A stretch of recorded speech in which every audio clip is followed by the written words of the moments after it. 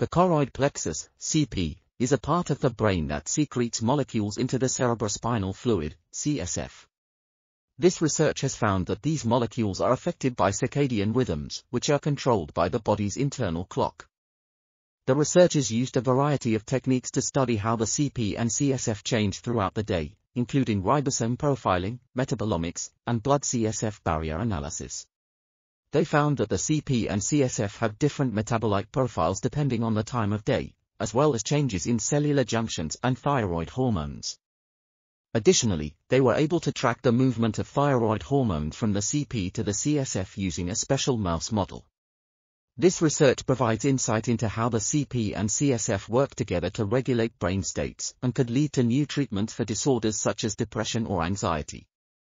This article was authored by Ryann M. Fame, Peter N. Kalugin, Boryana Petrova, and others.